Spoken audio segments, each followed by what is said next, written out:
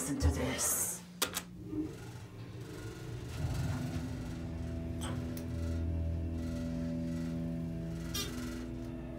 That was epic. That was awesome.